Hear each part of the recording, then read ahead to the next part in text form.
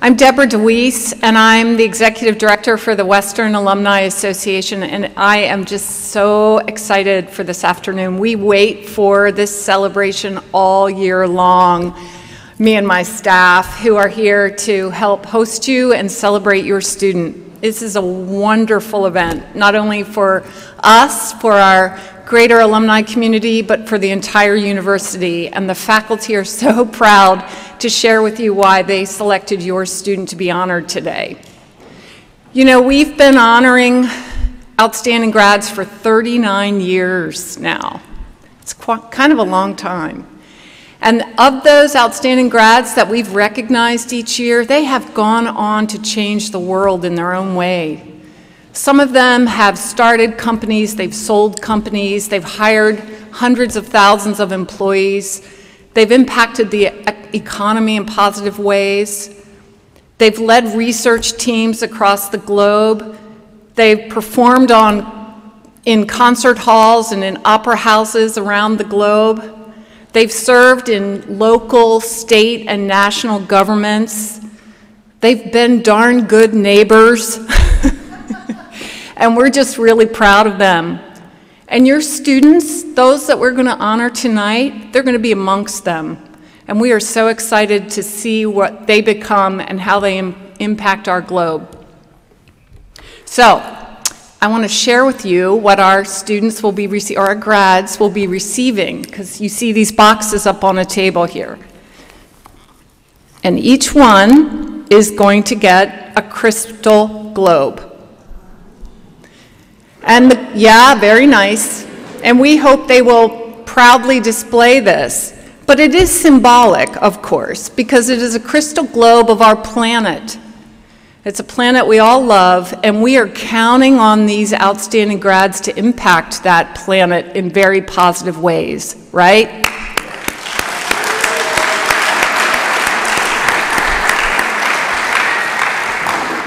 And after taking a peek at what our faculty are going to be saying about these recipients of the award today, I know they will be impacting it, and we can all rest easy in that. Now, the reason we wanted you in here before our outstanding grads processed in is because we need your help. I need your help. I would really like it if we celebrated them in a, in a fashion that I believe they deserve. So what I'm going to ask you to do is as soon as they start to come in the door, is you stand and let's start clapping. Let's give them a standing ovation for all that they've succeeded at and what they will succeed at. And let's stand and give them that ovation until the last one is seated.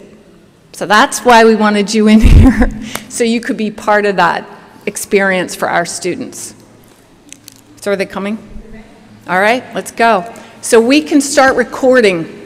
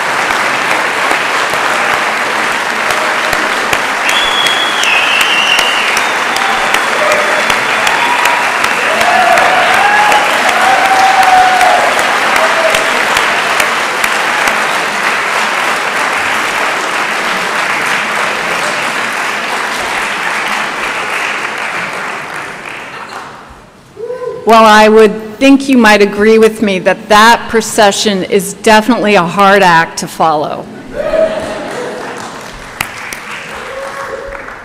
I'm Deborah DeWeese, and I'm the Executive Director of the Western Alumni Association, and I am absolutely honored to welcome you to the 2014 Outstanding Graduate Ceremony.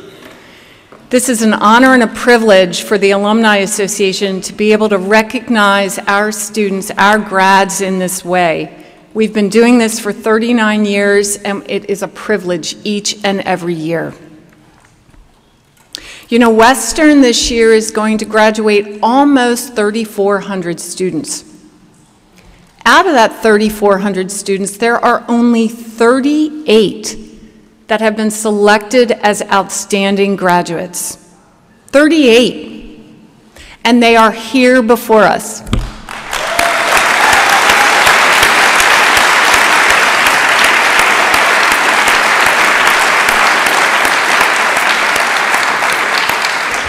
Congratulations. Congratulations to each and every one of you.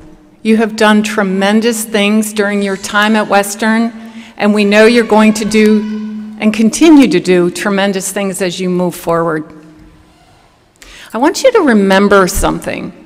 Remember that at Western, there are opportunities that were afforded you that allowed for you to be as successful as you have been. When you move forward, remember that the strength of this Western community is part of who you are now. And we'd really love it if you would stand in and lean into that pride of your Western community and help us create the strongest alumni community in the nation, dare I say the world. It's on you. We need you.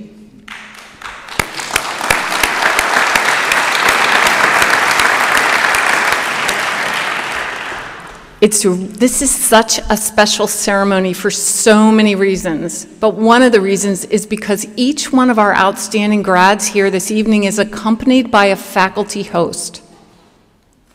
Our faculty are amazing.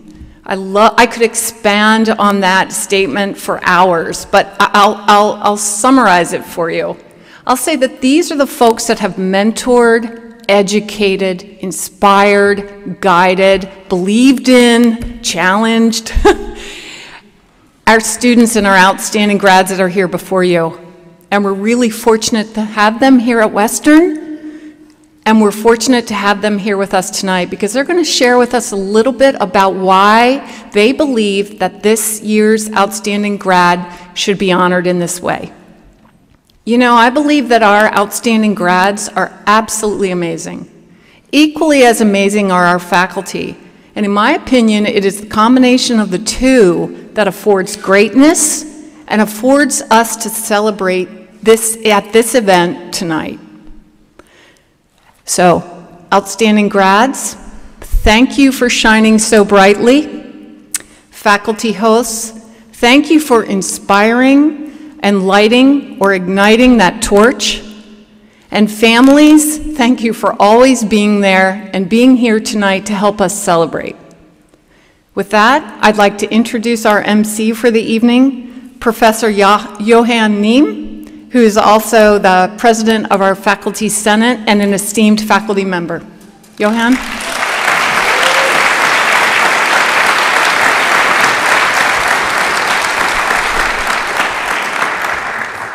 Thank you, everyone, for coming out today to honor our outstanding graduates.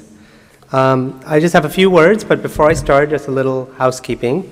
Um, when we get started, each student will be accompanied and introduced by her or his mentor. The important thing is, if you're the next in line, you're asked to get on deck on the right or left side and come on up. Exactly. Um, in that way, we will we will have, I've been told that this works smoothly, so I'm, I'm, I'm taking it, I'm taking, and that, and the, we're all, you know, these are brilliant students and we can, we can make this happen. Okay, so I'm, I'm going with that. Um, I want to thank you all for coming out this afternoon to celebrate Western's outstanding graduates. Each department selects a student who best represents the academic accomplishments and values of that department. These graduates represent the best students from each department in the past academic year. But in addition to grades, faculty members consider the broader contributions students make to their discipline, to the university, to the community. So it's a real honor to be named Outstanding Graduate from your department. The ceremony also celebrates what is best about Western. Each of these students will be represented by a faculty mentor. At Western, students have the chance to work closely with faculty members, many of whom are among the leading scholars in their fields. It's a great opportunity which reflects our focus on undergraduate education. But for the parents and family in the audience, I want to turn that around for a second and say that the really amazing part of this ceremony is what it means for us, who are the professors. I've been at Western for a decade now, and I can say that the best part of being here is a chance to work with students like your children. Mentoring is always a two way process, it is always a relationship. The relationships that form between a teacher and a student are always different and always leave both participants transformed. Learning and teaching is a human endeavor, it always happens between people. We're not machines. Each of the students here and each of the professors who will represent them see the connection between what they study and who each of us are. In short, we professors believe in two things what we teach and the people we teach. And this ceremony to me is a testament to the power of the human element in teaching and how everyone involved can emerge different from where they began. So I think this is a really powerful ceremony and it means a lot to everyone involved. And, I, and with that, I will go ahead and get started. Um, the order of outstanding graduates that I've been given is slightly different than the order on your program. But again, I've been told that it works out. So the first, the first student is Andrew Ray, who will be introduced by Millie Johnson from mathematics.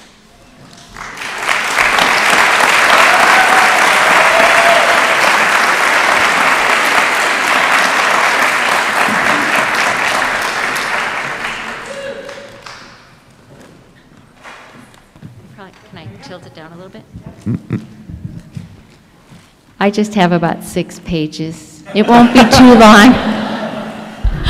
I'm so very honored to be Andrew's faculty host. So I want to tell you a little bit about Andrew. It was a tough choice for him to choose me, I think. He's very beloved in not only the mathematics department, but also the physics department. So Andrew has completed a Bachelor of Science in both mathematics and also a Bachelor of Science in physics. And he's also graduating with distinction in mathematics, meaning that he had to pass a comprehensive exam, which is essentially the same as our graduate school exam in mathematics. And he had to write a project, and he had to give a presentation and go through a defense, all for undergraduate.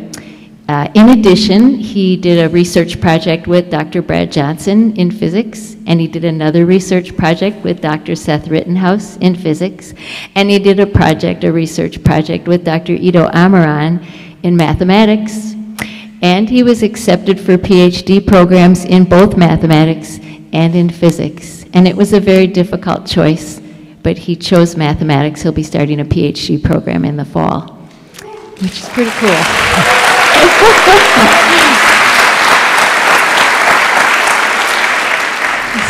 so that doesn't tell you much about him. He's an incredibly humble and kind young man.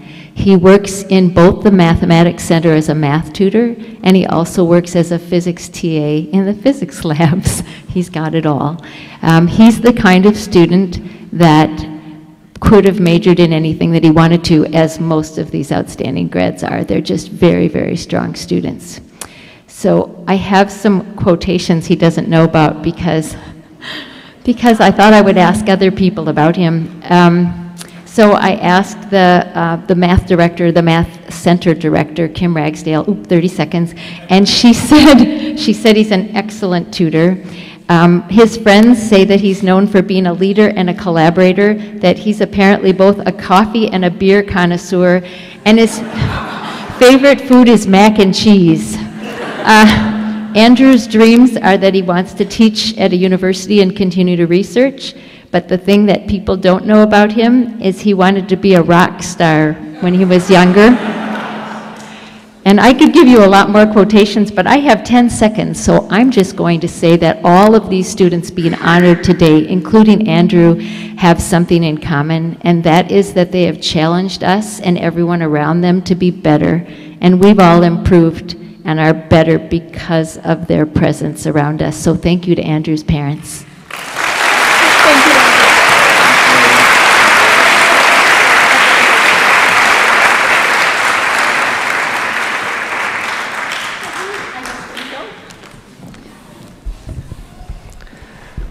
Next, uh, I'd like to introduce William Enrique, who will be presented by Molly Ware from Secondary Education.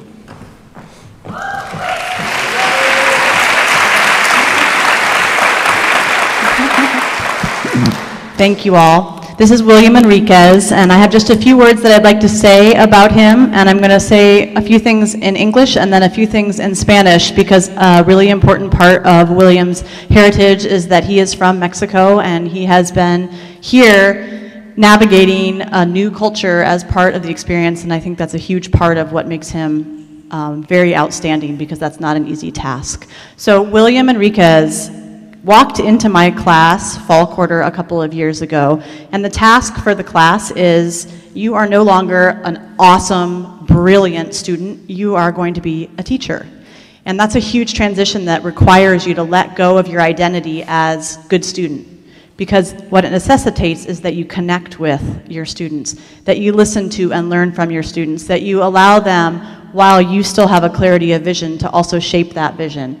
And um, that was not an easy transition. And William just took a huge leadership role in that. He was able to rapidly make the transition, and, um, and he just sees his work with youth in schools as a liberatory endeavor. It's about freedom for, for all youth, and he sees potential in youth who um, others might not see the potential in as readily. And so I would just like to celebrate with you all William's courage, his clarity, his integration. He's not just brilliant intellectually, but he is, as there's a spirituality and an integrity about him that he brings to his work.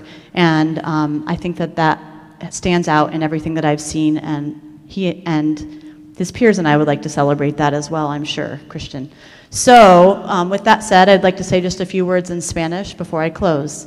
Es un honor celebrar William Enriquez, and my Spanish isn't so great, so forgive me. um, uh, durante su tiempo, tu tiempo en la programa secundaria de educación, um, ha tenido un gran coraje y um, nos, nos, um, you have taught us so much. Me ha enseñado muchísimo, gracias.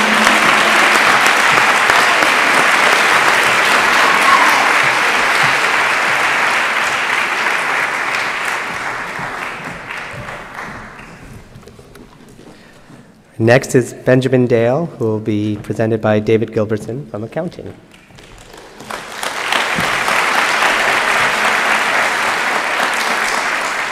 It's a, a real honor to introduce Ben Dale, um, our outstanding graduate in accounting for 2014. Um, there's a, we've all probably heard the adage that there's never a, a second chance to make a first impression.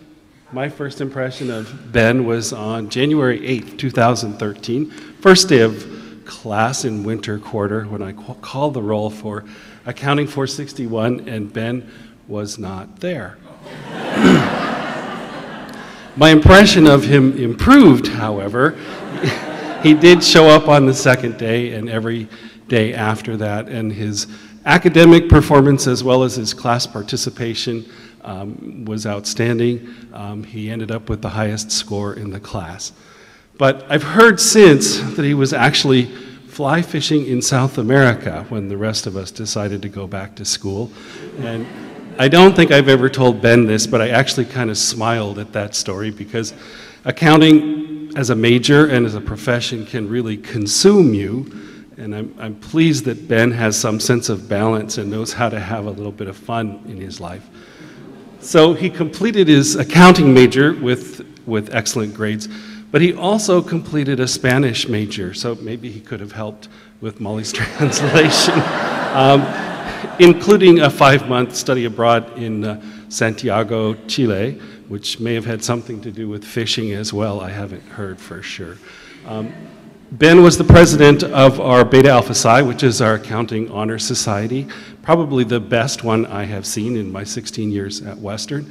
He graduated in March, but he still comes back every week for the meetings and so on to help support the new officers and the new students. 30 seconds, all right. Um, he also, our best students typically have internships. Ben has had three, um, one with the state auditor's office, one with Moss Adams and their Everett office, and he's presently doing his third internship with Moss Adams in Everett. He plans on starting a career there in the fall, um, but between now and then, he just bought an old used sail, sailboat and he's planning to sail to Alaska. So that's Ben Dale.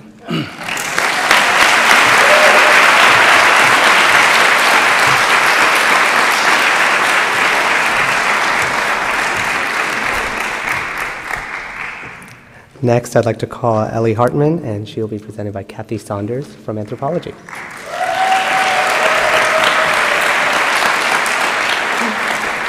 Well, hello. The Anthropology Department is very proud to present Ellie Hartman as our outstanding graduate, even though we only can claim a piece of her academic development and achievement. Ellie graduated in winter, magna cum laude, um, with the following credentials, and I had to write this down, this is too long to remember. Completion of the honors program, a degree in anthropology with social studies, teaching certificates in social studies, English language arts, and English language learners, TESOL certification. Okay. Service has been the hallmark of Ellie's time at Western. Yes. Um, among those, Compass to Campus mentor, secretary of diversity inspired volunteer educators. She was the budget authority and tutoring coordinator of Students for Education Equality, vice president of Student Washington Education Association, volunteer at Amy's Place and Northwest Youth Outreach Services, and, you know, because she had little time for her senior project in honors, she was the co founder and president of the Youth Homeless Outreach Program. Well, then you go out and wonder, what does she do in her free time? right? Well, in her free time, for three years, she played clarinet um, for the uh, Western's most prestigious ensemble group, and apparently she managed to practice sometime. Yes? Yeah, all right. I don't know. Um, in her, as she was coming to the end of her educational program, she asked me to attend a presentation she was doing for the Center for Educational Diversity. And uh, folks, um, that was the most outstanding hour of my life. I don't think I ever heard another academic, not just undergraduate academic, any academic, make such a case for at risk youth. She's going to be a marvelous teacher. Thank you.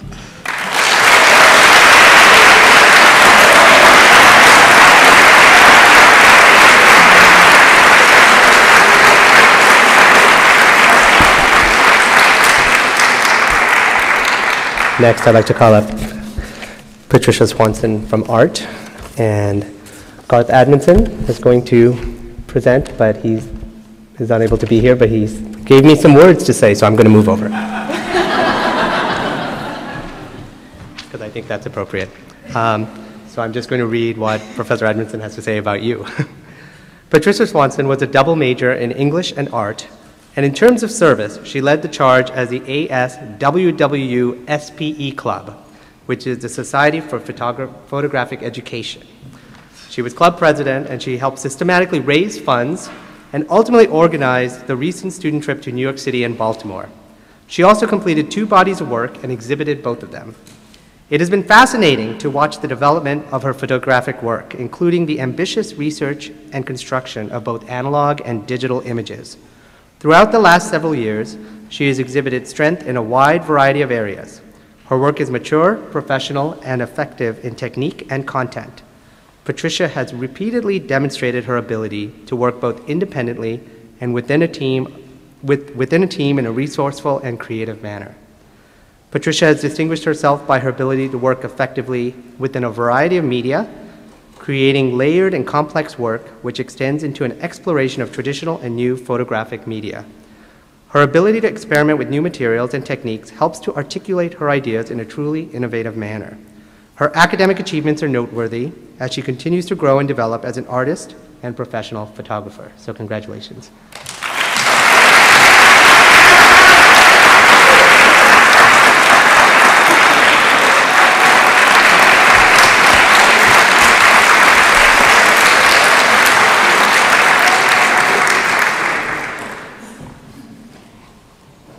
Next, I would like to call up Andrea Schiller, who will be presented by Michael Mana from Behavioral Neuroscience.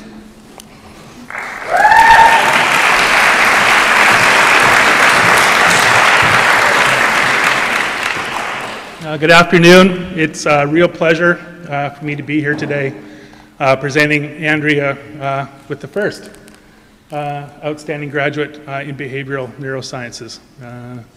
I met Andrea when she was still in high school. she came to Western for a visit to see our campus and to learn about what was then a new behavioral neuroscience program.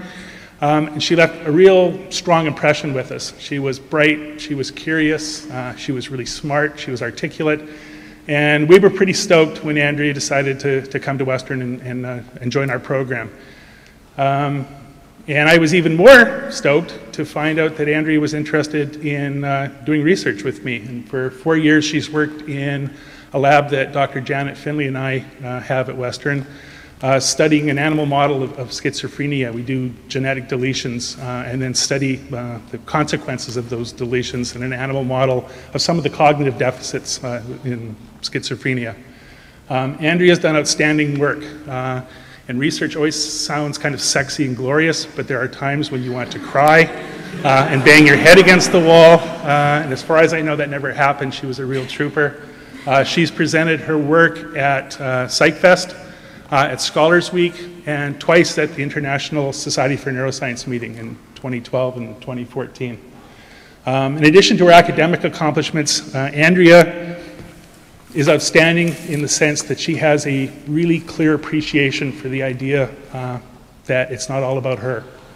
Um, and she has a sense for giving um, and a sense for um, being able to contribute to others that, that really makes her exceptional. Uh, she's been involved for four years uh, with the uh, Neuroscience Research Driven Students Club at Western. Uh, this year, again, the outstanding academic club on Western's campus, so shout out for the nerds. Um, this year, Andrea was their outreach coordinator, and she was busy uh, all year doing outreach K through 12, uh, busy with Compass through Campus uh, a Brain Awareness Week for the Society. Um, Andrea's leaving now uh, after five years. Uh, I'm not good at goodbyes, so I'm not going to say them. Uh, she'll be going to uh, begin a doctorate program in dental surgery at the University of Washington in the fall. Uh, I'd just like to thank her parents for the outstanding job that they did raising Andrea. She's a pleasure. Thank you.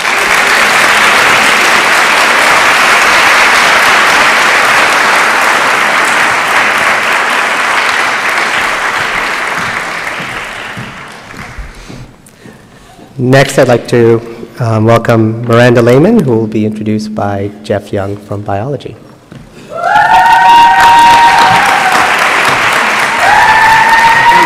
It's uh, my great honor to, uh, uh, to uh, talk to you about Miranda. Um, ben Franklin wrote that um, if you want something done, you ask a busy person. And, and, and I always think of that when I uh, see her working in my lab or in her classes. Um, she's a student athlete. She was on cross country and track. Uh, she's going to graduate uh, a magna cum laude with a degree in cell, with a degree in cell, with a degree in cell as well as well as, as well as molecular biology. And she's taken the time to become a first-rate scientist. And that's mostly how I know her because she joined my lab. And I have to come clean. I'd, I'd, I'd heard of Miranda, I heard of this great student, and I was looking for students for my lab, and she happened into my office as an advisee. And I think I brushed aside her, her questions, and I said, you know, the number one important advice I can give you is you need to join a lab. And, and, and I have an opening, in, in, in, in, and she stepped in and she's taken over basically graduate student work. Uh, we're working on a plant pathogen project. She's on the plant side and she's doing high level genetic work and, and has pushed the project uh, a lot further than what we would have expected. Uh, and and, and, and her, her co-students uh, and her teachers all want me to point out that she's uh, not only fun in the lab, but she's a leader and, and, and, and, and, and, and a doer. Uh, the grad student she works with says that um, she'll try to think of things to do and she'll look around and they'll have been done already. Uh, and, and, that's just the type of person she is. She's heading off to uh, uh, uh go to graduate school and at the crossroads between medicine and doing genetics, and I'm looking for great things from her in the future.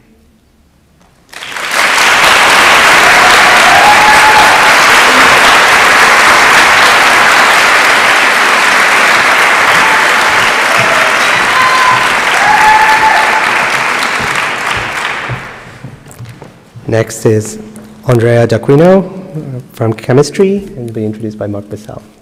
Well, it's a distinct pleasure to introduce Andrea D'Aquino as the chemistry outstanding graduate. She's just a phenomenal person. I first met Andrea when she came and asked if she could join my research group. And at the time, I didn't have an opportunity, or I didn't have an opening, but I knew once I met her that I was going to create an opening. And so it took a few months, but Andrea uh, joined my research group and has never looked back.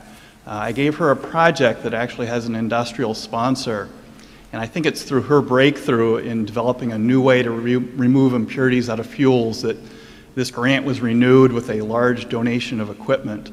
Just phenomenal research, and that's just scratching the surface of Andrea. I think she really understands the importance of higher education, has embraced all the opportunities that come with it. I just keep presenting her with challenges and ideas and opportunities, and she accepts all of them.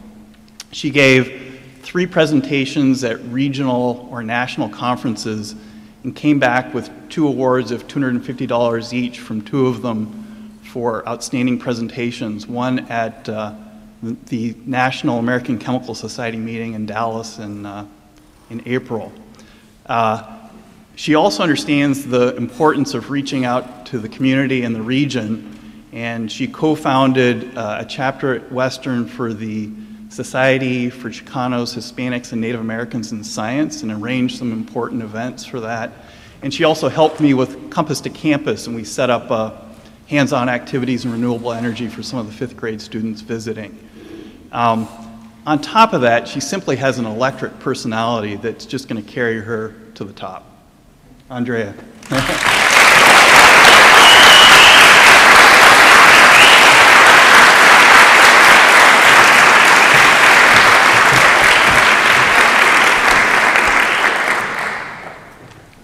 Next, I'd like to welcome Sarah Nicole Carlson and Kimberly Peters from Communication Sciences and Disorders. Oh, but, but not Kimberly Peters.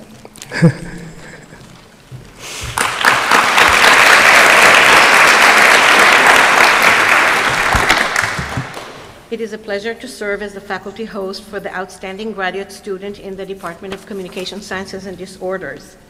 The department prepares people to become speech language pathologists and audiologists. And as such, it is a rather outstanding department because people who come there do so driven by compassion. The compassion to bring others their lost gift of language.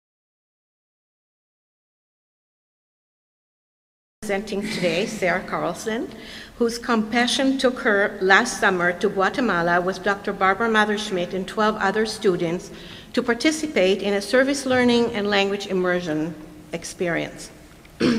Sarah enthusiastically worked hard alongside her, parent, her peers, providing intensive physical labor as they built houses, cared for malnourished infants in a clinic, and provided educational support to local students in an elementary school. This is how Sarah described one of her experiences. The families we were helping were living in shacks with dirt floors. In three days, our group was able to build three small homes with concrete flooring, locked doors, and a solid roof. The families we helped were so grateful and full of joy. Throughout the three days, they were very involved in the building process, which was amazing to see. Every time I wanted to complain about the blisters in my hand, I would look at the little girls next to me working just as hard with no shoes or gloves, and suddenly those blisters didn't hurt anymore. From high school days, when Sarah participated in volunteer activities to help Katrina survivors rebuild their homes through a multitude of volunteering activities through International K, uh, Circle K, Sarah says, For me, a service experience is not successful unless I come home more humble than when I left. Sarah exemplifies the best of active minds changing lives. The Communication and uh, Communication Sciences and Disorders faculty appreciate Sarah's engaged learning, ongoing services to others through her volunteer work, and her multiple interests that include being an accomplished dancer. We are fortunate that Sarah accepted a spot in our graduate program for next year. We'll enjoy the opportunity to further mentor her on her path to becoming a speech language pathologist, and we're pleased to have this opportunity to honor her.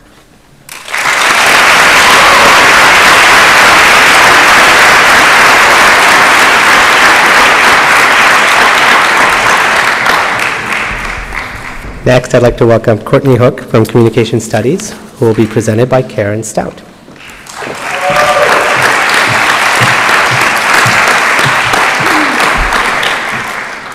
It's my honor to introduce you to Courtney Hook today, and it's especially my honor to be selected as her faculty mentor. It was, I have to tell you, a really easy decision for the Communication Studies de Department to select her as our outstanding grad this year. You know, at first you could just look at the 3.91 GPA and say it's a done deal.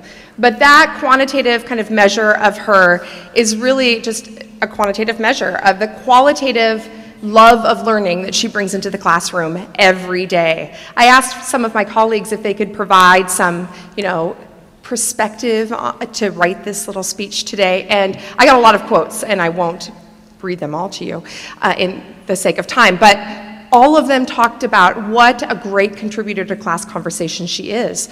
Sometimes we have conversations in communication studies that are not easy to deal with discussions of race, class, privilege, and all of them talked about how Courtney provides um, an important voice in that conversation and how she creates a friendly, safe environment for people to share their perspectives as well as sharing her own. So those two things alone made it an easy decision. But it was also an easy decision because for, the la- for three quarters, she served as an instructor's assistant in our public speaking program. And that program where, is where um, more mature students help, like first year students get through public speaking. And that is a lot of work. Um, you might imagine that this process right here is a little nerve wracking. And Courtney did a really masterful job at helping students deal and cope with anxiety and um, be the best public speakers that they could be. And she, the director of this public speaking program, asked me to publicly thank her today for her service and her leadership in that program. So thank you. It was also easy, really easy to select her because she was one of the very few students who chose to do a senior thesis this year. And I had the pleasure of being her advisor. And I'm seeing the time, and so I need to say that much like the rest of our outstanding graduates today, Courtney has a bright future in, in ahead of her. She is planning on graduate school and um, will be researching graduate programs this summer and studying for her GREs, and hopefully extending the data collection that she did with her senior thesis project, because as part of that project, she was asked to replicate her study on multiple university campuses. So I helped to do help her with that, and as um, her mentor, I just want to say thank you to Courtney for helping me be my best. So.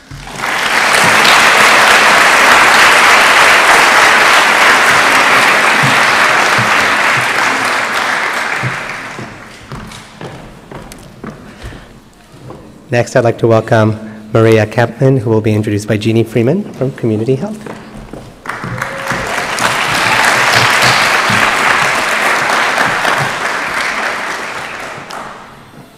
Community Health faculty are honored to celebrate Maria Campman as our outstanding major. This young woman is driven, observant, diligent, a high quality leader, and humble. The work she has produced these last two and a half years has consistently stood out as exceptional in all of her major related courses. Maria also exhibits remarkable traits of a health educator in her service to the community. She has volunteered her time at the Sexual Awareness Center, working to reduce sexual health disparities among the various subpopulations of Western's culture. Additionally, she has been a peer sexual health educator for prevention and wellness services, allowing to serve her student peers by providing accurate information about partner communication, monogamy, hormonal birth control, and abstinence. She's also served the older adult population in Bellingham, taught health-related lessons to preschool children, and has helped to develop a campus-wide suicide prevention social marketing campaign that will be implemented on campus this upcoming fall. Through even brief interactions with this outstanding graduate, you'd be able to identify her as a compassionate woman and a heart of service. While outstanding major awards tend to be academic in nature, Maria is so much more than a scholastic record of excellence. Outside of her scholar and volunteer lives, she challenges herself. She regularly engages in conversations with others from diverse backgrounds. She keeps up with current events, regularly works to improve herself, and has been known as a loyal friend. Additionally, with her upbeat nature and poise, she is able to enjoy the little things in life, even during hectic times. Over the years, the community health faculty have enjoyed our opportunity to learn about the various complexities of Maria. The fact that she loves to paint and draw, go camping and hiking, play Scrabble, go skydiving, and has a unique affection for pugs, all add to the endearing nature of this fantastic young woman. As her faculty, we would like to thank Maria's family and partner for supporting her and allowing us the opportunity to have their daughter and their partner join us at Western. Congratulations, Maria. I'm so proud of you.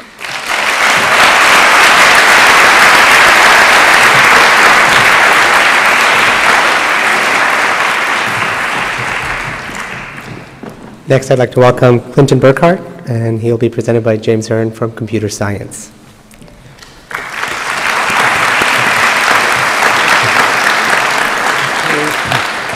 I'd like to introduce you to Clinton Burkhart, our outstanding grad in, in the computer science department. Um, I'm going to be brief, not just as a courtesy to you, but I'm not going to be brief because a listing of his accomplishments would be short. Uh, I mean, he earned a 4.0 GPA for the, the first student in our department to do that in a decade, A. And um, Recently, he represented our department at the regional uh, Microsoft Natural Language Processing Conference. He acquitted himself very well there. Um, and this is the, what really kind of impressed me, is we were working on a project to provide computational support to an Assyriologist in the history department. And we didn't have to know the language. We just had to sort of write some programs. But it became evident in the research meetings that Clinton was on his way to teaching himself to read Sumerian. And that's very unusual in our department. anyway, um, the reason I'm br being brief is he told me he hates to be the center of attention. And when he told me that, it put me in a kind of despair because he's going to have a very unhappy life. Uh, because everywhere he goes, he's going to distinguish himself for his, his intelligence, his creativity, and his kindness. Um, let's welcome him.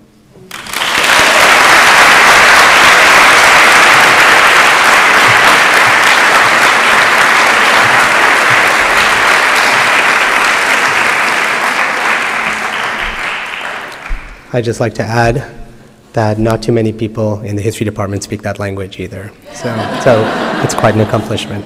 Um, next, I'd like to welcome Juliet Machado, and she will be introduced by Nolan Dennett from dance.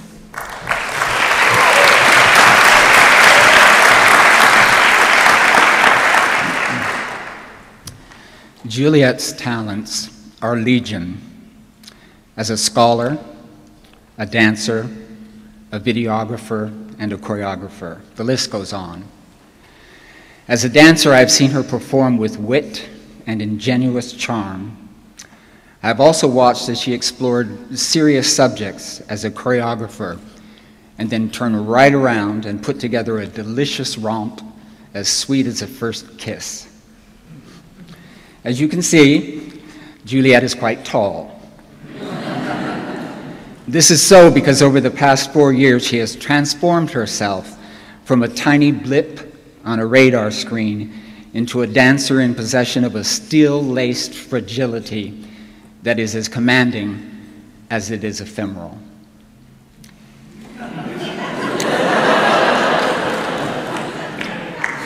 The human body is the repository, the museum, if you will, for movement art. And since that is so, Juliet, it rests with you to now take hold of the baton and carry on as one of the stewards of the art form. With me and my colleagues here at Western, you have studied with our teachers, and through us with theirs. All our body memories are now yours. Go forth and help the world to see with clearer eyes. Do what you have done here. Be outstanding. Just last week, I watched you as you appeared out of the darkness at the back of the main stage theater, then walked slowly forward to stop short and without moving off that spot, proceed with your heartbeat, your breath, your flesh, and your bones to lift the ceiling off the theater. And for one quick, bright moment, you were nine feet tall. that said, neither self esteem nor talent can be measured in inches or feet, or turnout, or perfectly executed pirouettes. But I have borne witness to your true height, Juliet, and there is no going back now. You have inspired us all.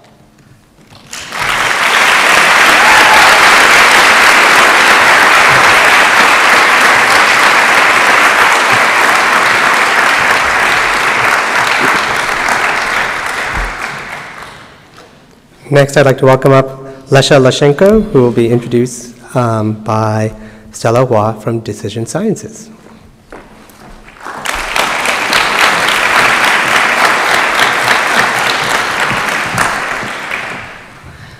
There's truly no greater joy than standing here and also sitting here listening to all the things that our students have accomplished. And if you're a parent or grandparent, um, you get to do this, brag about your child or grandchild in front of only a few people and without time constraints. But as professors, we get to do it in front of a whole concert hall of audience and with time constraint. but still, this week I really look forward to this moment to introduce to you Lesha Leshenko, our outstanding graduate. She graduated magna cum laude in December 2013 at the age of 20. She maintained and achieved a cumulative GPA of 3.96 while working part-time at Alpha Technologies, where she also completed her first internship and she's now working there full-time. At Alpha Technologies, she not only deals with daily routines of order processing and fulfillment, she also takes great initiatives to design and redesign systems or models, such as Outback Power MBR cost model, master pricing scheduling, freight cost audit, and AlphaCell KPI report. She was on the president's list six times during the two years she was at Western, and that's all the quarters we have in two years. And before coming to Western, she obtained her transfer degree through Running Start during her junior and senior years in high school. And she came to the States with her family when she was five years old and still speaks and writes in Russian and Ukrainian. She's truly gifted and accomplished, well deserves this highest honor at Western. We're so proud of you, Lesha, and wish you great success in the future.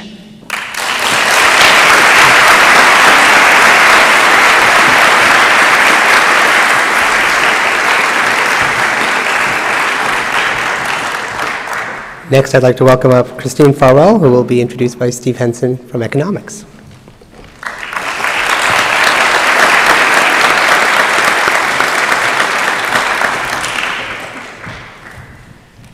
It's a huge pleasure for me to be able to introduce Christine Farwell, the Economics Department's outstanding graduate this year. This would have been an extremely difficult year for us to make a decision because we had a large number of outstanding grads. However, Christine stepped up to the plate and made it a lot easier for us because a student like Christine comes along maybe only once or twice in a decade. She is outstanding. She uh, came into economics like a lot of us from another social science area, in her case, political science, from which she brings a passion for uh, public policy, social issues, and a desire to make the world a better place. Last winter and spring, she took my introductory and then advanced econometrics uh, courses, which is basically an applied statistics course. And despite her insecurity about her math background, she's one of the best students I've had in both of those courses over the last three decades. She wrote a paper in the advanced course on the male female, uh, the gender wage gap, and its relationship with child poverty. When I read that paper, I had to keep reminding myself that I was reading an undergraduate paper. She then took the uh, advanced uh, seminar in applied econometrics from a colleague of mine, Moheb Ghali. And in that course, uh, she wrote a paper on the impact of the recent financial crisis on the sustainability of microfinance. That is a huge issue in developing countries, particularly in Latin America and Africa. That paper was one of only three campus wide to earn Western's Outstanding Undergraduate Research Award this year. That paper, I know, is going to be submitted for publication. I was, on, I was thrilled when Christine asked me to supervise her honors project, which was a revision and extension of her paper on child poverty. It's just been an incredible amount of fun working with her on that, and uh, we both had to learn some new statistical techniques that I was unfamiliar with. And it was just really fun kind of co-mentoring each other on that project. Christine um, has uh, done volunteer work in northern India. She's now off to China to teach uh, English for a year and will then be heading into a graduate program in economics. I look forward to future collaborations with her. Thank you and congratulations, Christine.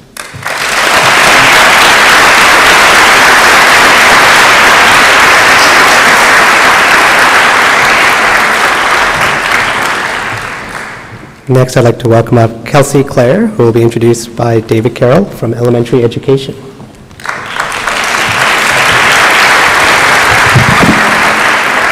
my pleasure to introduce Kelsey as the outstanding graduate from the Elementary Education Department.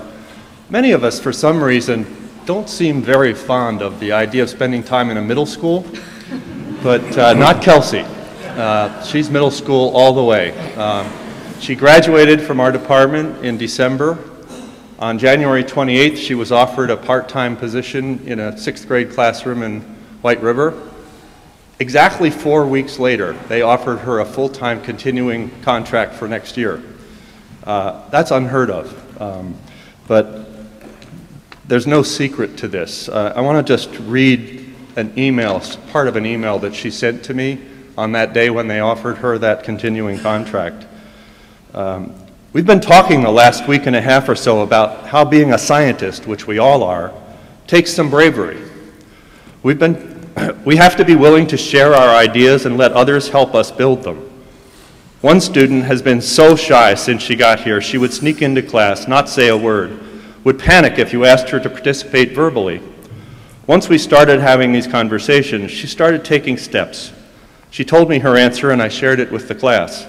Then, in her science intervention period, my co teacher told me that in one day, in 35 minutes, she shared what she thought four times. When I talked to her about it later and told her how proud I am of her, her response was a smile, a shrug of her shoulders, and then she said, You said I have to be brave. Yesterday, another student asked me to make a poster that says, This is a wonderful place of courage and bravery. I'll be making that poster this weekend. I wish we all had sixth grade teachers like that. Um, Kelsey not only has a middle school science and math endorsement, she actually helped create the middle school science endorsement. Um, faculty in the science, math, and technology education department here called on her to go with them to the Higher Ed Coordinating Commission to advocate for that position, and they were so impressed by her presentation that they created one, and she's one of the first people to have earned it in the state. She's also been a terrific mentor to other students, and I could go on as everybody could, but it's a great honor to have you.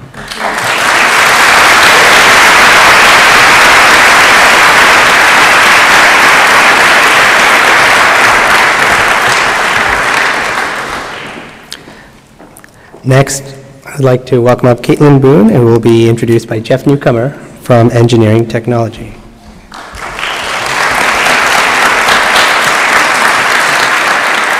It is absolutely an honor and a pleasure to get to introduce Caitlin Boone to all of you. She's a, a, fantastic student, and it's really been a pleasure to have in the department. And we have um, just a fantastic group this year. Two years ago, I had the fortune to get to teach a sophomore class, which I don't get to do very often. And I was just overwhelmed with how good the students were. And I was thinking, in two years, this is going to make picking an outstanding graduate really hard. And we have six programs, and it's, it's hard to get noticed across programs. But Caitlin rose above everybody, and she did it the way that most outstanding graduates did it, not just by academic excellence, but by being a leader in different areas. And in Caitlin's case, it was um, working on two different teams. Um, one was our um, SME, Society, Society for Manufacturing Engineers competition team. The other was the Formula SAE team, which is a, a small racing car out of our vehicle program. And usually when students get involved with one of those projects, it's about all they can handle. And often it has some kind of negative effects on their GPA. Um, Caitlin maintained an incredibly high GPA and took leadership roles in both teams for two years. So we had this outstanding group this year. And yet Caitlin was hands down everybody's choice for the outstanding graduate because she had just stood out in so many different ways. And um, she's headed off to The Ohio State University. Don't forget the The. And she'll be studying mechanical engineering in the future. And I just finished a couple days ago reading her um, senior project report, and I can guarantee you that she is also going to impress them at The Ohio State University. So, congratulations, Caitlin. You've earned it.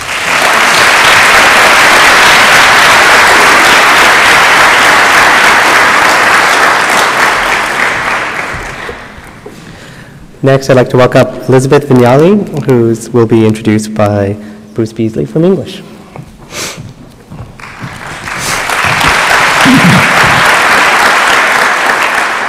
Ms. Vignali is not only a brilliant poet and prose writer, she also has a perfect 4.0 average, having earned an A in every single class she's ever taken at Western, um, and was the clear choice uh, for our outstanding graduating senior.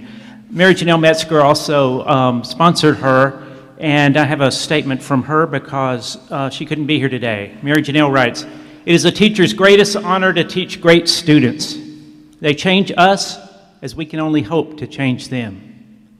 They come daily to the work of inquiry and learning with a kind of soul hunger that ignites the passion for understanding of all around them. They respect others even as they push them to live fearlessly and with great love. You are one of those students. Your love of language and the ways it transforms us and the world in which we live made every day I worked with you a rare privilege.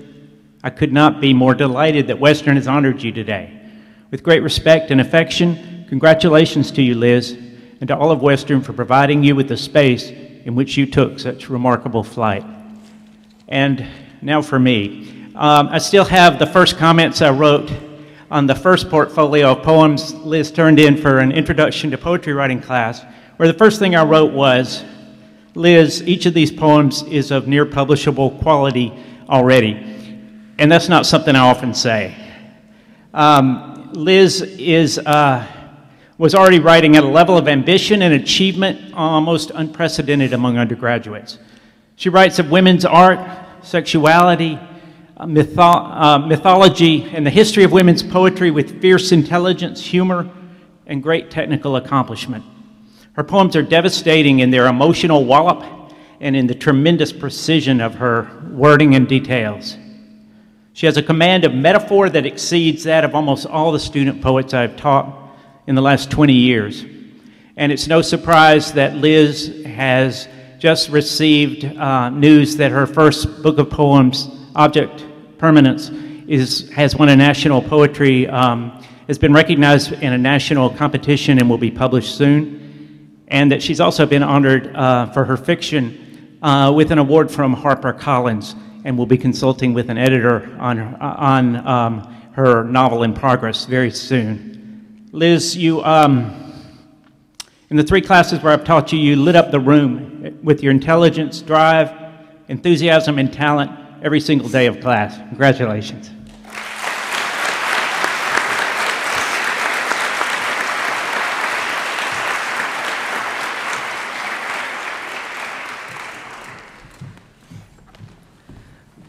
Next, I'd like to invite up Sarah McCarthy, who will be introduced by John McLaughlin from Environmental Sciences.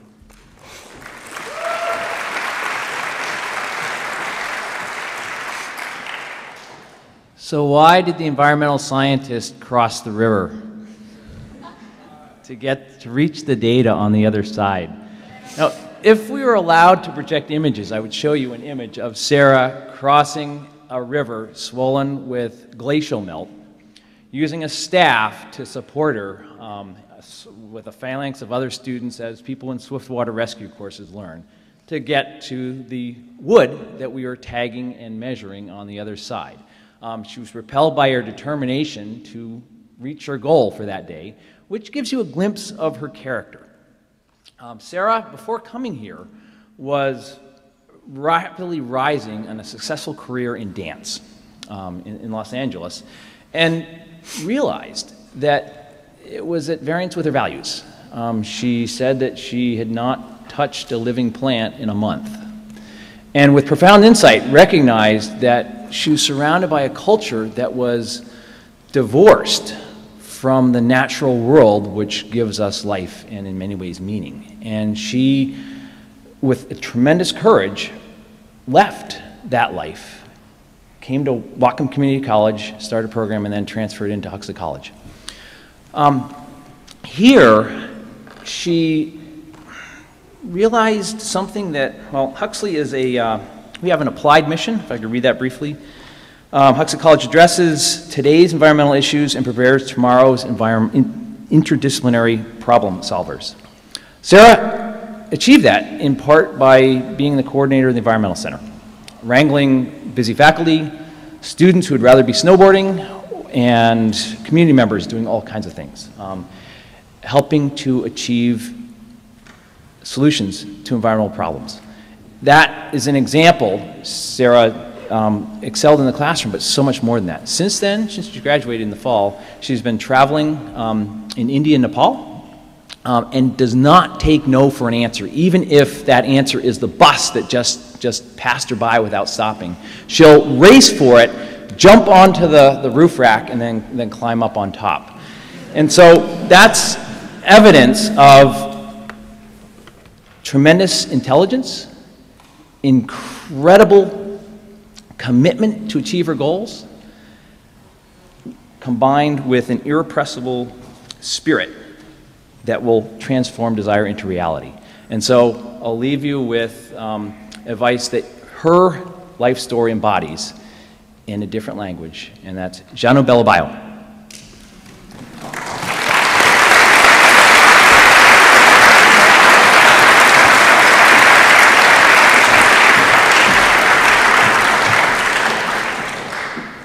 Next, I'd like to invite up Natalie Bowles, who will be presenting, introduced by Rebecca Pocky Green from Environmental Studies.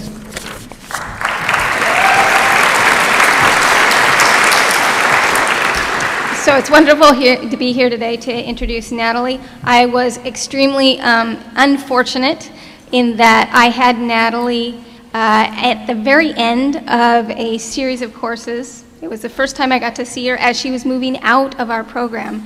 Um, but she came into class, she was uh, not boisterous, but very serious and very focused. I didn't know anything about her. I got my first assignment back from her, read it, and went, oh, wow. I am talking to a colleague here. I'm not talking to a student. Uh, the level of engagement, the thought process behind it, the critical thinking was just outstanding. And then um, mentioned it to other uh, faculty members, and they were like, oh, she's the 4.0 student. Yes, she is amazing, and she is a joy to have in class. So I started um, scheming, and immediately, you know, I got to figure out how to get this student back in my, um, in my life. I had her as a TA the next year uh, in a natural hazards planning course um, and had the very funniest interaction. I didn't say it was funny at the time, but um, gave the first assignment out, gave her the rubric. Uh, she went through and she graded, and then she came back in an email and she said, "So what are what are we supposed to do with all this terrible work?" and I went, "No, Natalie, that's average work. It's fine. They're learning. Encourage them." And she did. And she encouraged them, and by the end of the quarter, they were doing much better under her tutelage, but uh, she had a little bit of a shock uh, realizing what the average was. Um, she is definitely pegged out uh, and needs to go someplace else where they can challenge her and where she can get something less than a 4.0. And I'm very excited to see that happen. and very excited to work with her over the summer on a grant uh, together.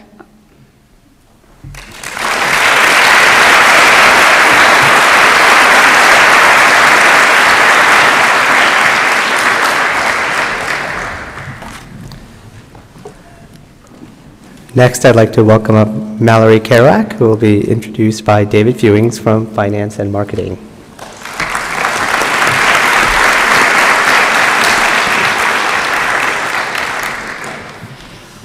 Well, it's my honor to uh, introduce Mallory Kerouac.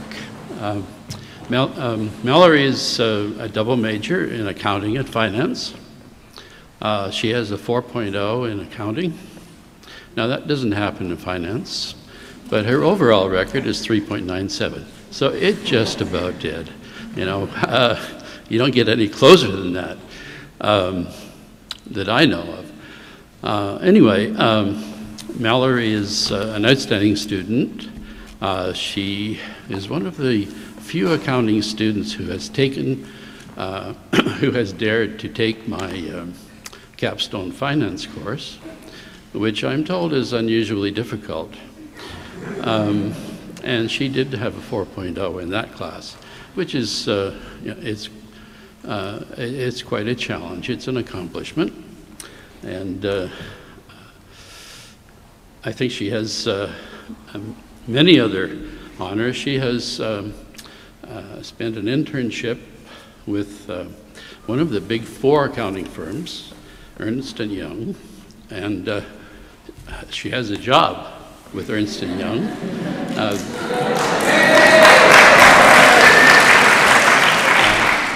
and not only that, she will be joining the, the auditing team of, uh, at a company, uh, working for Ernst & Young, but at a company um, uh, which I think all of you know about, and that's Amazon.com. Now, that's a, a huge job. They're perhaps one of the largest retailers in the world. And it takes Ernst & Young's team a whole year. They work virtually uh, uh, continuously on this job. And so she's joining a fine team uh, with one of the big four accounting firms. A very, very um, noteworthy accomplishment. Uh, she has been uh, uh, a member of, of, many societies. I have to read these because, but I will Oh, I see another uh, detail here that uh, she was on the president's list at Western for seven quarters. Um, uh, she has several scholarships and awards. Uh, she has passed the first part of the CPA exam. Um, oh, yes, membership uh, in Alpha Lambda Gamma and in uh, Beta Alpha Psi, the Accounting Society. Um, she's also a member of the National Society for Collegiate Honors. Um, so those are just a few of the, uh, things that I noted down, knowing I only had uh, 120 seconds to, uh, to tell you about her accomplishments and, and record. So thank you very much for being our student.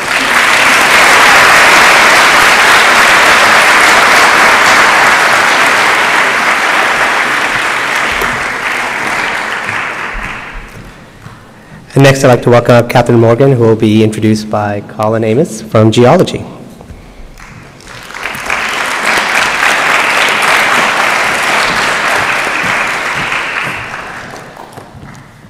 It's a great pleasure to uh, name Ketty Morgan our outstanding graduate in geology for 2014. Um, and in geology, we typically uh, select our outstanding graduate based on some combination of academic performance, participation in research, presentation at a meeting, um, things like that, and so on. So once Ketty's name emerged in our discussion, we agreed that Catherine was Ketty. Um, we, uh, her name quickly rose to the top and stayed there. Uh, not only is she the top uh, graduate in our department with a 3.9 GPA, uh, she's really a fixture of our department. She's part of its culture. And for the past two years, you could find her in the wee hours of the night in the environmental science department, balancing cross sections, doing three point problems, uh, playing with stereo nets, all these good things. Uh, so our research interests don't totally overlap. She's a hard rocker, and I'm a dirt guy. Um, but I did manage to entice her to spend some time with me and a graduate student in the Owens Valley, um, where she and my graduate student were hunting down historical earthquake surface ruptures with LIDAR, field observations, all that good stuff. And not only was she uh, uh, vital to the success of that project. Um, I think it instilled in her one of the core tenets of the field geologist, which is that geology allows you to travel to far, far-flung, beautiful places. So wherever that lands Ketty next, I'm sure she will have great success. So she is truly our outstanding graduate.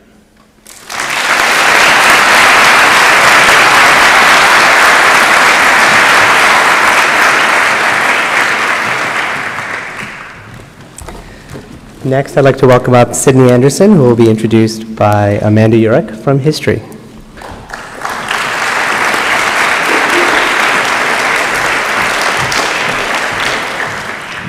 I have to say that this is bar none the best way to finish a school year. So uh, it's really wonderful to have Sydney standing next to me. Uh, anyone who has had Sydney in class can speak to the diligence with which she approaches any task she is given. She is a remarkable scholar athlete with several re national records for swimming to her credit. And if I were to list them all, my time would be up. Uh, I did just learn that since she graduated in March of 2014, that she went on to become our new national champion in the freestyle mile. Um, in addition to that, um, she was a remarkable student in the classroom, the kind of singular devotion required to compete at the national level in swimming also served Sydney well in the classroom. Sydney followed up um, an exemplary performance in my film and history course on France and World War II um, with one of the best senior capstone theses that I are, have, have advised at Western. She came into my office the first week of fall quarter um, of this year and told me that she had spent her summer vacation in Hawaii reading the diary um, of Helene Berr, uh, a diary that only recently surfaced and that describes the experience of a Jewish student at the Sorbonne who worked with the French resistance before her arrest and execution in 1944.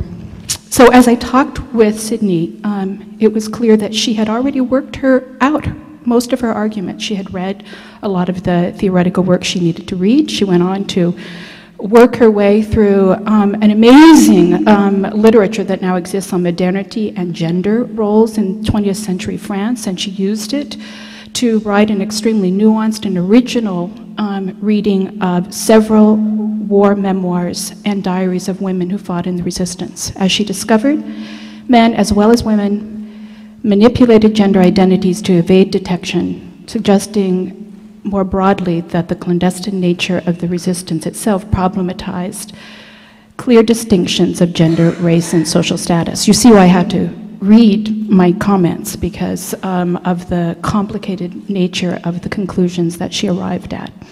Sydney um, is a very focused woman whose studies and extracurricular activities have prepared her for a life of civic engagement beyond the university. And my, the history department fortunately with my colleague here, um, Johann Neem, who um, is also um, one of my dear colleagues in the department, is very pleased to recognize Sydney this year for her exemplary achievement.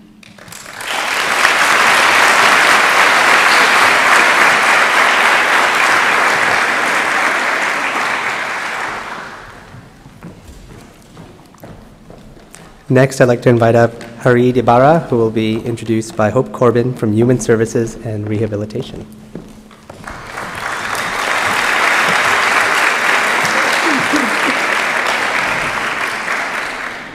Thank you. Uh, I'm here today on behalf of the Human Services Program to introduce Harid Ibarra uh, in as the outstanding graduate for human services. And I've prepared a few words so I can try to be concise. And Gio, you'll appreciate this because I take my own speech writing advice. Uh, when thinking of how to introduce Hared, three words came to mind to describe why we on the faculty who unanimously uh, agreed that Hared was our outstanding graduate, why we believe him to be outstanding. The first is leadership, the second is perseverance, and the third is focus. So for leadership, Hared is a true leader. He's an organizer and motivator of his peers and colleagues. It's fun to work with Hared. Uh, he'll make you laugh while challenging uh, you and, and requiring you to rethink your take on the world. He's able to inspire people to believe in their own strengths and abilities He's developed and contributed these skills in his work as an Alto mentor and through his integral and yearly co contribution to the Migrant Youth Leadership Conference. Perseverance. Uh, Hared's success as a student is the direct result of his ability to stay the course in the face of obstacles. English is not Hared's first language. The US is not where he was born. When he first tried to apply for the human services program, he was unable to complete the paperwork because he had no social security number to fill the form in. But Hared has not allowed such obstacles to stop him. Rather, it seems to ignite a fire within him to work even harder because he recognizes the value of his education. It drives him to seek out new opportunity and to persevere for the best possible outcome.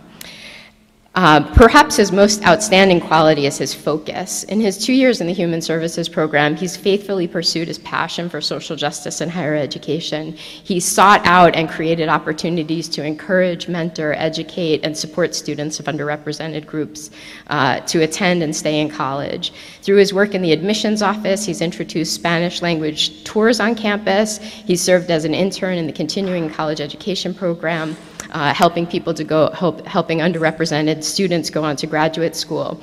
I could go on, but I'm out of time. So I will just leave uh, with this last word that through his leadership, perseverance, and focus, he's left the Human Services Program in a better position to help students. As he would say, he's left a ladder for others to follow in his footsteps.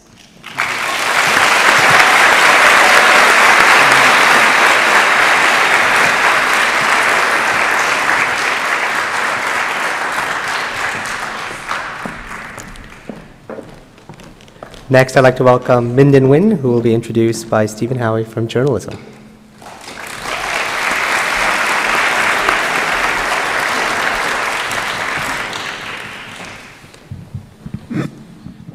So I'm here today to honor Minden Nguyen, uh, who's our outstanding graduate in the journalism department. He's going to graduate tomorrow with a degree in visual journalism.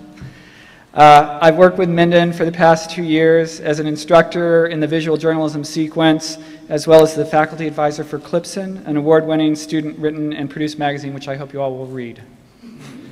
Let me first say that Minden is the kind of student who I worry about a little, uh, because I think as a faculty we can rely too heavily on the extremely adept and accomplished students in our departments. It's easy to forget that Minden Nguyen is a senior in college and not a colleague uh, with years of experience in the field. I've taught on and off for close to 20 years, and I have never come across someone so passionately and so unreservedly devoted to excellence and professionalism. He served for two quarters in a row as editor in chief of Klipsun magazine, something that, to my knowledge, has never been done before and will probably never be, do, uh, be done again. And that's after serving the previous quarters as Klipsun writer, uh, photographer, and photo editor. In short, he devoted almost two years of his life to making Klipsun an excellent student magazine.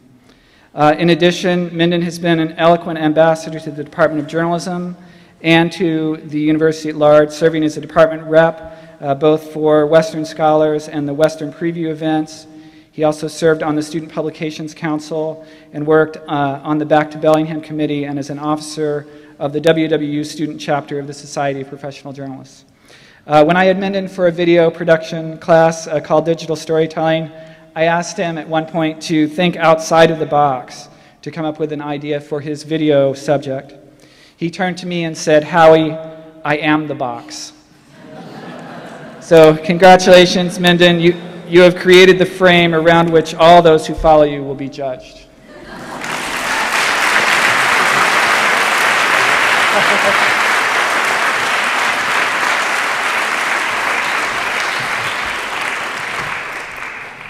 Next, I'd like to welcome up Jacob Kaiser, who will be introduced by Linda Keeler from Kinesiology and Physical Education.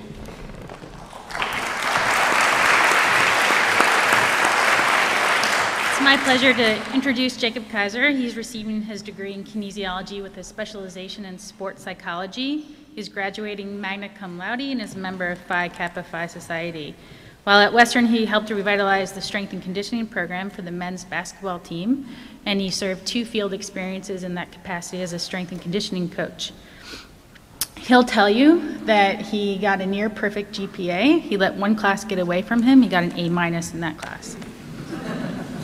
So I'd like to give um, three points of context in which um, uh, will highlight Jacob's Award. First, our, within our department, the Kinesiology and Physical Education program is actually the largest program on campus.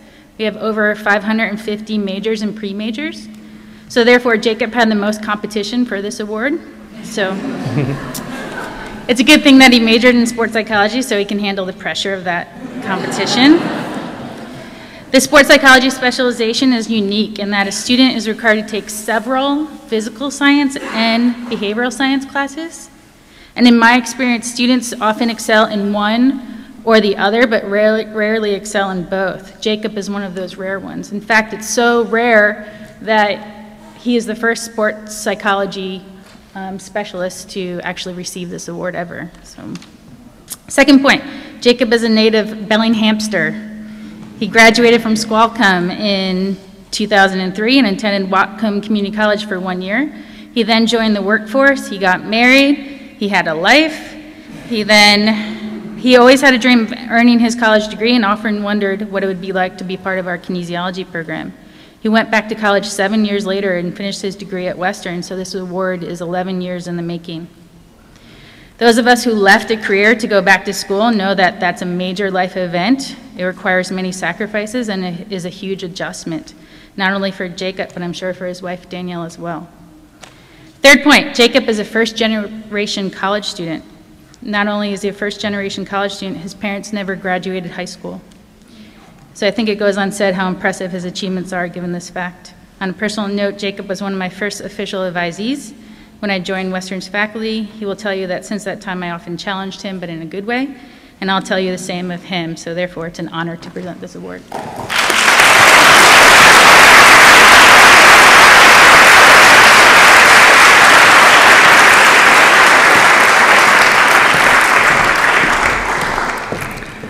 Next, I'd like to welcome Ryan Logan Evans, who will be introduced by Scott Pierce from Liberal Studies.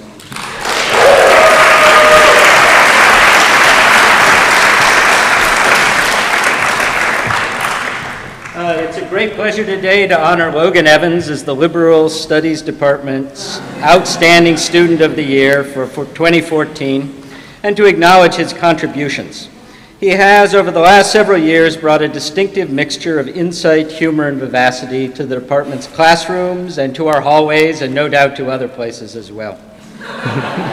the capstone of his work here is a senior paper that is a sophisticated study of how a facet of modern American popular culture is a syncretic borrowing from the utopian visions of Tolstoy, Gandhi, and the Chinese Taoist philosopher Lao Tzu.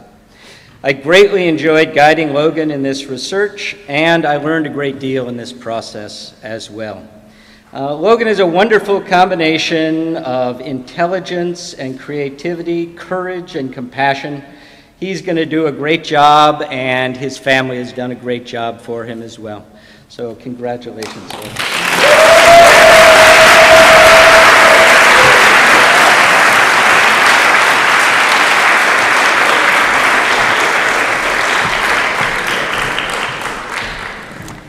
Next, I'd like to welcome up Lisa Brisboe, who will be introduced by Judy Pine from Linguistics.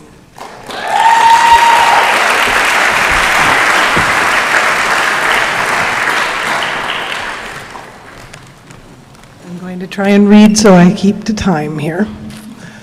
It is a pleasure and an honor to introduce Lisa Brisboe, the outstanding graduate for the Interdisciplinary Linguistics Program. Lisa, you stood out in a very competitive pool, a cohort containing a number of excellent students. So for you, about to graduate, we salute you. My colleagues and I in the program selected Lisa on the basis of her intellectual depth, her enthusiastic commitment to her research topics, and especially the topic of language revitalization in the Pacific Northwest, and her persistence in studying topics from every angle, producing well-crafted, informative final products. It is a pleasure to work with her as a student, and that's not just my pleasure, but everyone I talked to about her prior to putting this together.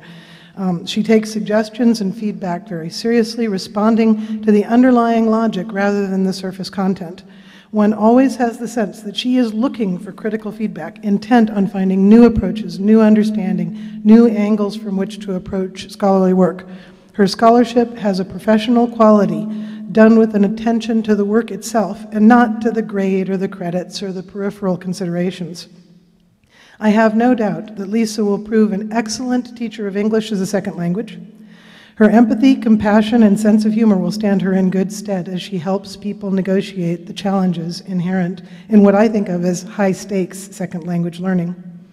I hope that Lisa has the opportunity to continue her work in the reversal of language shift in local indigenous languages as well.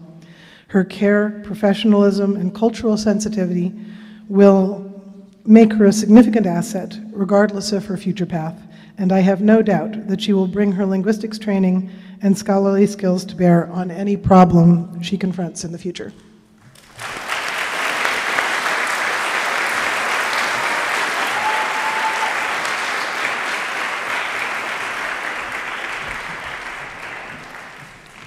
Next, I invite up Joshua Arthur Levensky, who will be presented by Tom Roehl from Management. I'm introducing Josh Lozensky, the international business student who's the outstanding student in the management department. I'm reflecting a little bit about what sets our WWU uh, outstanding students apart from those of other universities. They have high academic achievement, of course, and they always make us better teachers. Josh, be quiet for a while. I'm never going to get through my slides unless you just let me work for a while. We can all relate to that, right? All these guys are going to do this to us. But outstanding Western students, like Josh, share a willingness to take chances a sense of intellectual adventure and an enthusiasm to challenge situations that are complex and require them to combine in a liberal arts tradition their knowledge of different fields to make some progress. And Josh is just a great example of all these Western tra uh, traditions. It gives me great pleasure to introduce him.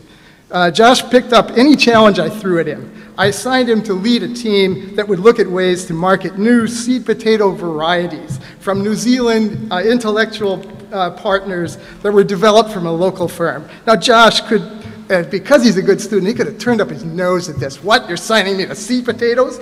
Uh, but yet, from this uh, seemingly mundane assignment, but he instead embraced it. He looked for a variety of different public and private sources. He sometimes had to beg for the data, but he got it. He guided his team as they combined the data to show where consumers might pay the extra price that they needed in order to sell those uh, uh, varieties. Responding to questions from the CEO, they quickly drew from their data the necessary information. They visually put it up so this guy could understand exactly what was going on.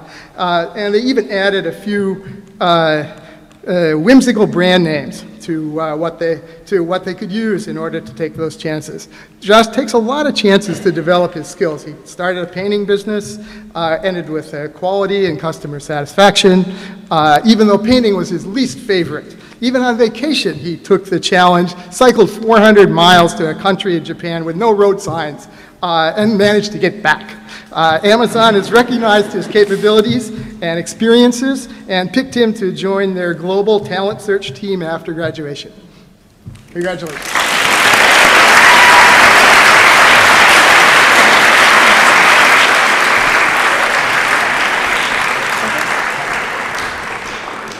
Next, I'd like to welcome Nadia Elgawarsha, who will be introduced by Paqui Paredes from Modern and Classical Languages.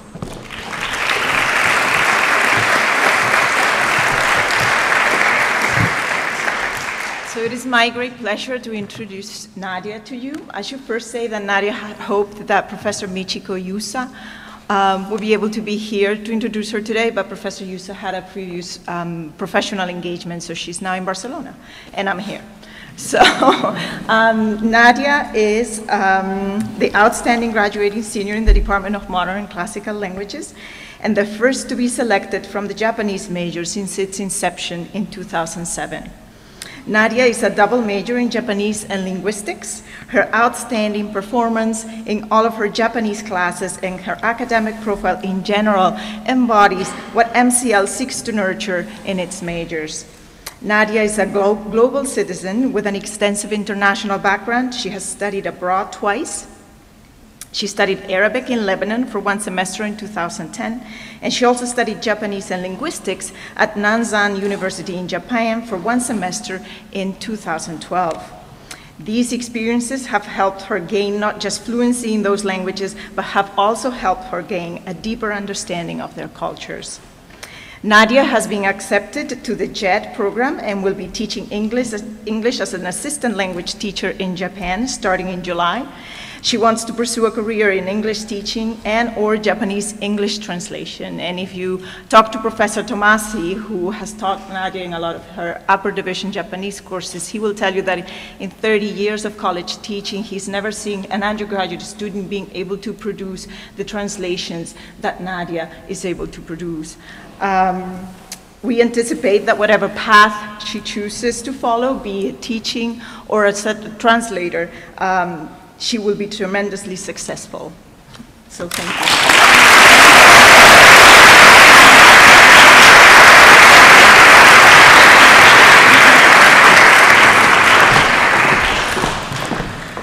Next, I'd like to welcome Madeline Sledadal, who will be introduced by Jeffrey Gilliam from Music.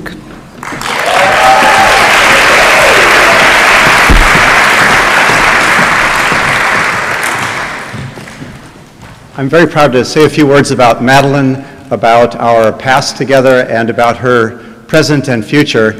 Um, in my email inbox, I have an email from uh, her former piano teacher from her Auburn Tacoma days, Tim Strong of uh, Pacific Lutheran University, writing to me in 2009 saying, I have this young lady named uh, Madeline, whom I think is the most talented student I've ever taught. And should she pass the audition at Western, he would like for me to become her teacher. Well, she passed the audition, and four years later, I have the privilege of saying that I, after 22 years of teaching at Western and three at the University of Michigan and one at Juilliard, consider Madeline to be the most talented, prolific student I've taught at any of those uh, institutions. And, and I'd like to give just a few short examples of what she's done to earn those accolades. In case I run out of time, I'd like to say that of the many universities that accepted her on uh, full scholarship and stipend, she will uh, go to a special master's degree program at the Shepherd School of Music at Rice University in Houston. Uh, it's special because uh, she'll pursue two concentrations, both to be a concert pianist and also in, in collaborative work. She's stellar beyond words in both fields. And um, so that's where, that's where she's going. Uh, now, looking backward to the recent past, uh, why she's so beloved, um, uh, last Saturday, Roger Briggs, the head of our composition program, uh, composed a piano, new piano work dedicated specifically for Madeline, which he premiered. I won't mention things like a complete viola recital last night at the Whatcom Museum or a complete voice recital on Tuesday night because that's just uh, a you know, snapshot of her life. This is her stage, and in February, uh, we're used to playing concerts here, not speaking, but um, her senior piano recital, Ford Hill, our patron saint of piano, said was the finest recital given in 40 years, including his own era at Western. And she's a, del a delightful person and, and bubbly and fun, and uh, I think I've covered some highlights. So she's so used to taking a bow of playing the piano. We could have wheeled out the piano, but there wouldn't be time for that in the two minutes, and it's time to stop. So Madeline, will you take a bow as the recipient of this award?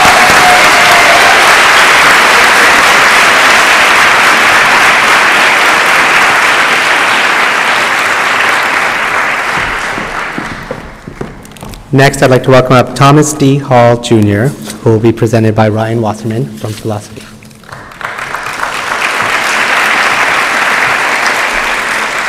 Thanks. It's a real pleasure to be here today to introduce you all to Thomas Hall. Uh, it's no exaggeration to say that Thomas is the very best student I've taught in my nine years here at Western, and I think he's one of the very best philosophy students that have graduated from our school. In fact, he's such an outstanding student, I don't really think of him as a student anymore, uh, having Thomas in class is just like having another professor there joining in on the class discussion. Um, in addition to earning a 4.0 in our major, Thomas has earned a number of scholarships and awards, including the President's Scholarship, the Departmental Tuition Waiver Scholarship, the Paul J. and Rebecca Ann Olscamp Philosophy Scholarship, and the Downing Mon- Montague Scholarship for Philosophy, Healthcare, and Technology. Uh, outside of school, uh, Thomas has also been very active in the profession. He's given um, talks at half a dozen philosophy conferences, and one of his papers on uh, some of the puzzles introduced by time travel was recently published in Cornell's undergraduate journal for philosophy. I also just learned last week that a version of that paper has now been accepted at a uh, professional uh, philosophy uh, journal, which is just unheard of. It's not normal in our field for undergraduates to be publishing in uh, professional journals, but then again, Thomas is not normal. Um, in addition to all of his scholarship work, Thomas has also been very active serving our department and the university and the community. Among other things, he's been a teaching assistant, an editorial assistant, a study group leader, a philosophy club president twice.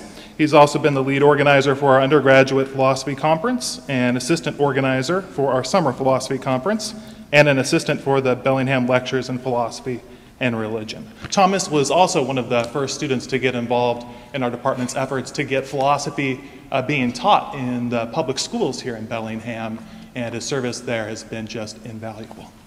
Uh, this fall, Thomas is going to be heading down to start the PhD program at USC, which is one of the very best programs in our field. And uh, while we are going to be missing him tremendously, we're even more excited to see what he accomplishes next. Congratulations.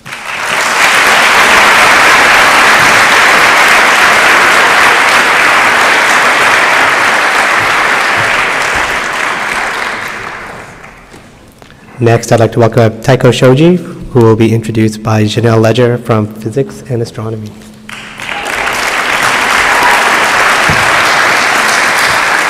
All right, it's, it's wonderful for me to be able to uh, introduce Tycho as the Department of Physics and Astronomy's outstanding graduate for this year. Um, I've known Tycho for just over two years, I would say. Um, and uh, he came to me uh, in, in the summer before he joined Western uh, wanting to do research with me. And I said, Well, let's see how your first quarter goes, see how you transition to Western.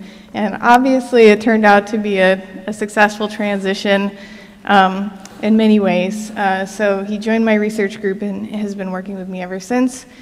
Um, Tycho has the kind of performance in both his classes and research that uh, only come from somebody who's got natural ability who works extremely hard and who has a very mature approach to everything that he does.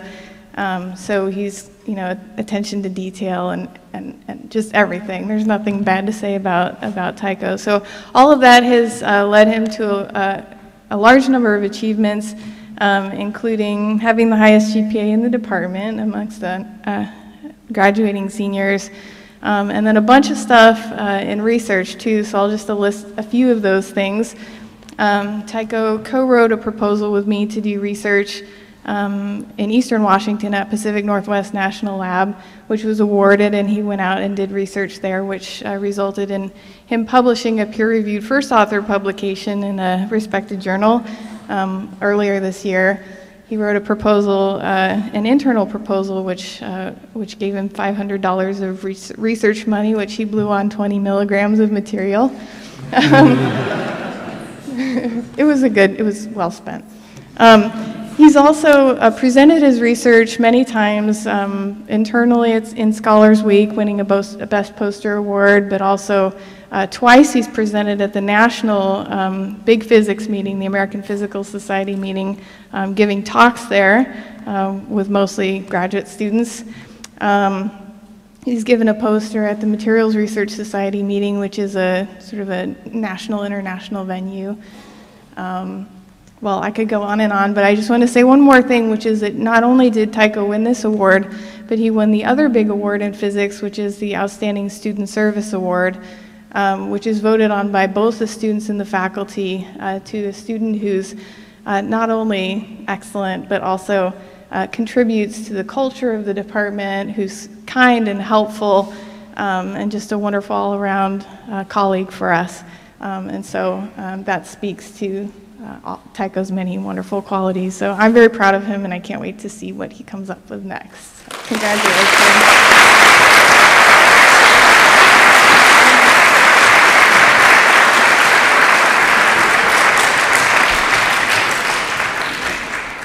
Next, I welcome up Megan Fowler from Political Science, who will be introduced by Shirin Deylami.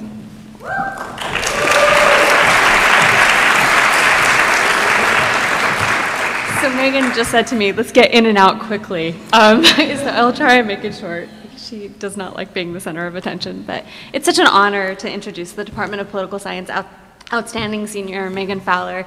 Um, I've had the privilege of teaching and working with Megan for the last few years. She was my TA. She was my research assistant. Frankly, my book wouldn't have come out without Megan because I can't, uh, I couldn't have done any of the work, to be honest with you. Um, uh, I can guarantee to you that she deserves this award. She's graduating tomorrow, tomorrow with honors in political science and a degree, degree in psychology.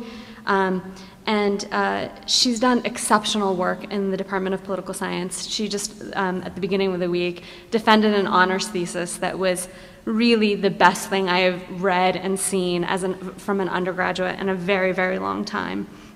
Um, as a student, Megan is everything a professor could wish for. She's exceptionally bright, engaged at a level one rarely sees, um, and genuinely cares about the stakes and understanding the world of politics.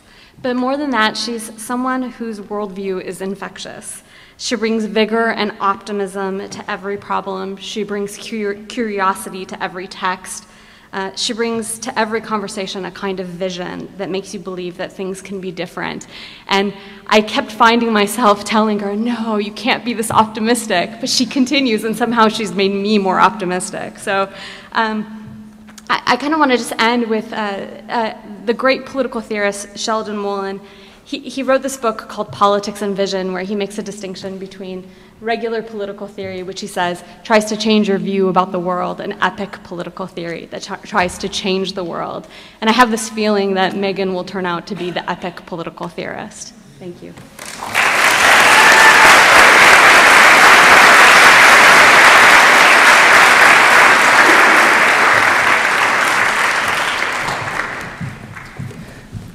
Next, I'd like to welcome up Carter Anderson, who will be introduced by Jay Teachman from Sociology.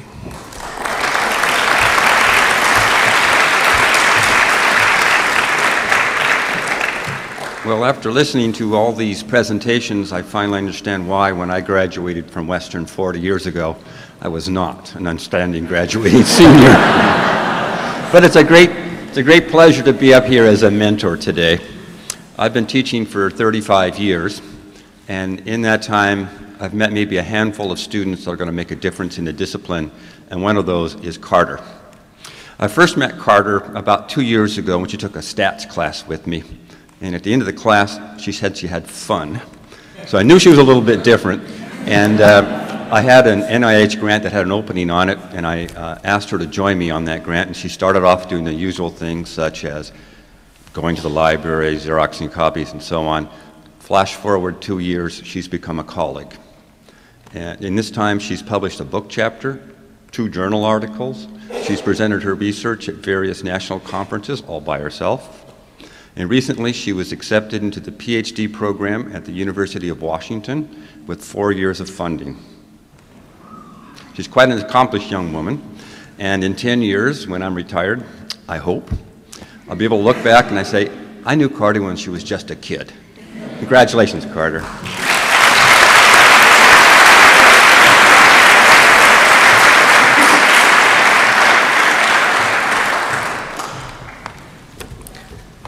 Next, I'd like to welcome up Jason Winston, who will be introduced by Keith Hyatt from Special Education.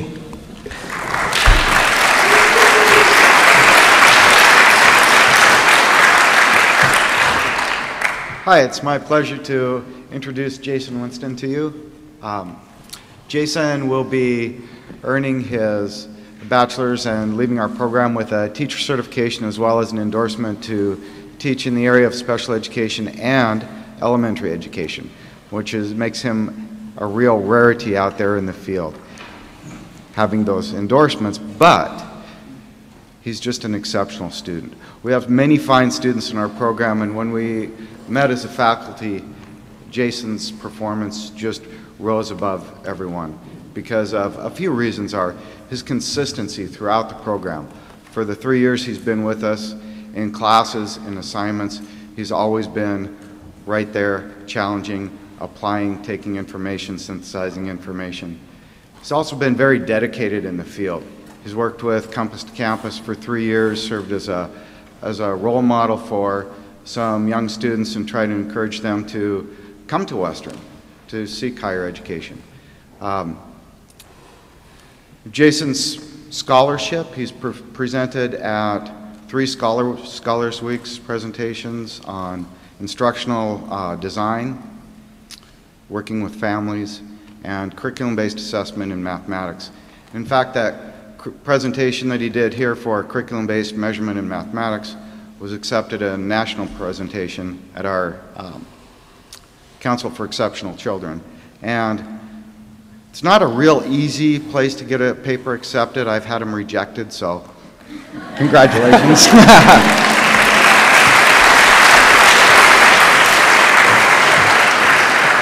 and just one last thing, I wasn't quite done yet, but before graduating, he has a job in Seattle School District with a target school that they're really working to turn around. This has been a school that's really been struggling, and Jason was the first special education teacher they brought on to, to really help with this program. And he's already got plans to, or been asked to, teach some of the faculty some of the skills that he's picked up here.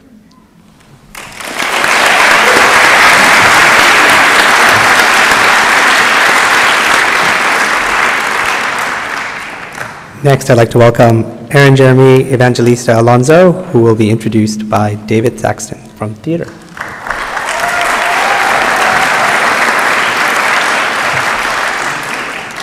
Uh, Aaron Alonso is a stage manager. Uh, stage manager is the person responsible for every facet of a live entertainment production.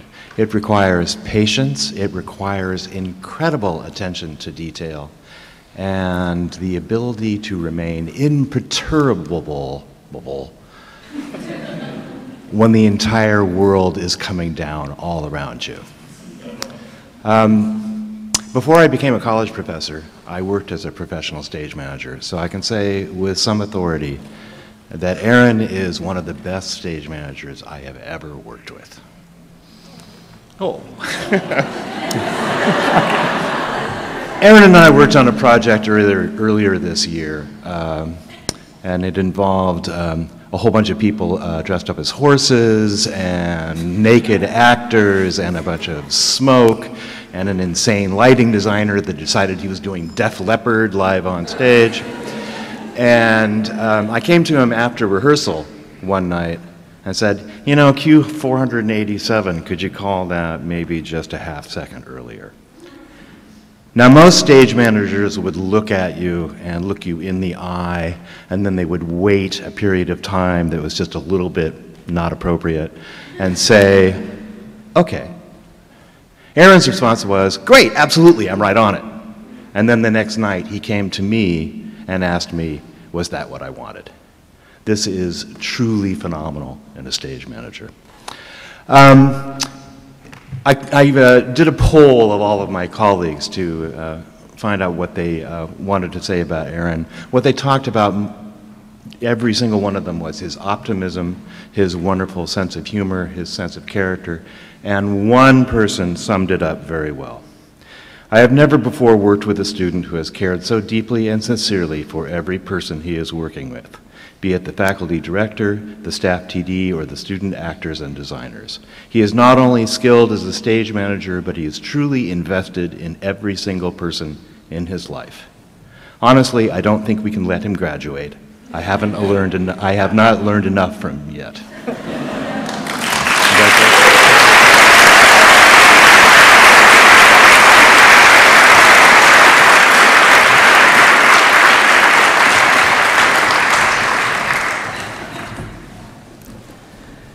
And finally, last but not least, I would like to welcome up Tobias Osterhag, who will be presented by George Mariz from the University Honors Program.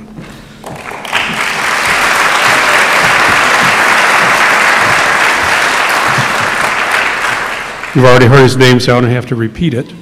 Uh, I think one of the things that stands out for all of us in a ceremony like this is that for all these students, academic excellence is the given. It is necessary but not sufficient to be outstanding. And as I look back on Tobias Austerhag's career here, a couple of things stand out. One of them is that he is a student willing to step forward, to lead um, in a bunch of different venues, and he is somebody who has a rare ability to be outspoken without being irritating. Uh, the first exposure I had to him at any length was in the first course that students take in the first year in honors. It's a, an introduction to ancient culture. And by about halfway through the term, Tobias and maybe a handful of other students had hijacked the course in the sense that I really didn't have to do any more work because they really took care of leading the discussions.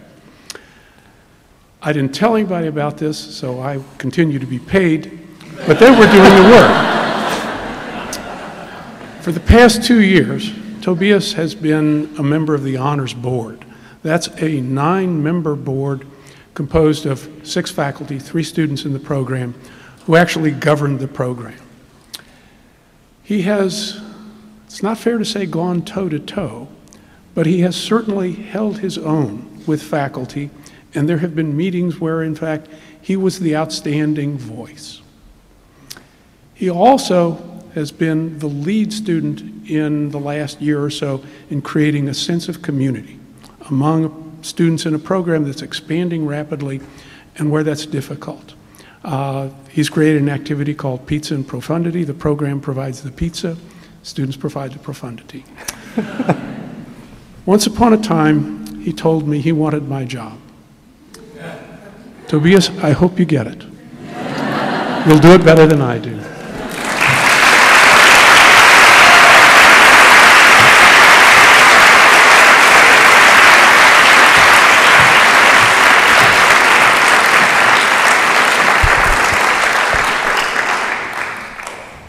Before we close tonight, I just want to offer some undesired and unsolicited advice to our outstanding graduates. And, and I want to I want to go back to David Gilbertson's story about when he walked into class that first day and was looking for Ben and Ben wasn't there. And, and when you have an expectation like that and it's not fulfilled, that leads to a sense of emptiness. And in fact, it can actually produce existential crises um, that sense of absence, that sense of nothingness. And so the simple advice I have for you is to help your professors out is write them. Send them a postcard during your gap year, send an email, let, us, let them know what you're doing, write them because you will be missed, your absence will be noticed, they will cry. And so, and I really mean that. So write them. And with that, Let's give another round of applause for these outstanding human beings, and then we're out of here.